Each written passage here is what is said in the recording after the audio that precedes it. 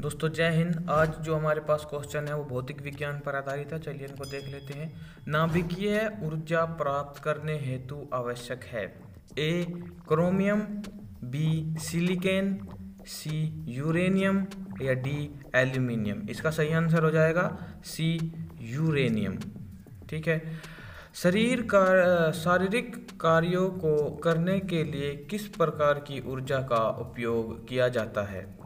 ए विद्युत ऊर्जा, बी सौर ऊर्जा, सी पेशीय ऊर्जा या डी रासायनिक ऊर्जा। इसका सही आंसर हो जाएगा सी पेशीय ऊर्जा।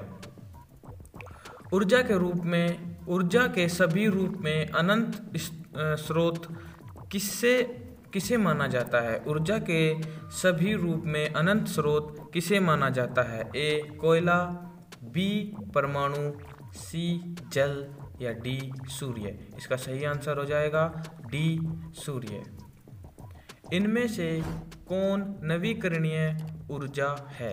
ए कोयला, बी सौर ऊर्जा, सी प्राकृतिक गैस या डी पेट्रोल। इसका सही आंसर हो जाएगा बी सौर ऊर्जा। पृथ्वी पर ऊर्जा का सबसे विशाल स्रोत है ए सूर्य बी लकड़ी, सी चंद्रमा या डी कोयला। इसका सही आंसर हो जाएगा ए सूर्य।